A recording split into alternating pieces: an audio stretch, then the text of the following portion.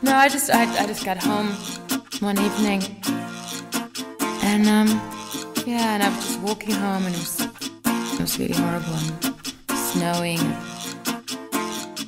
Because I lived on Riverside Drive in Harlem, in Harlem, in Harlem. I had this dream to become a dancer in Harlem.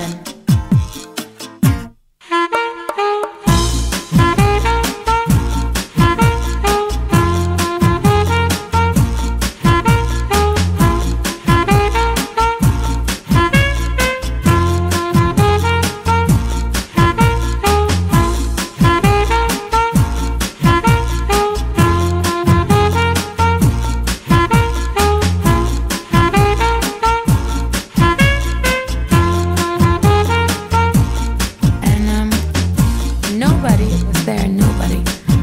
You know, why is nobody was nowhere. It was really horrible and snowing and in Harlem. In Harlem. I come to my flat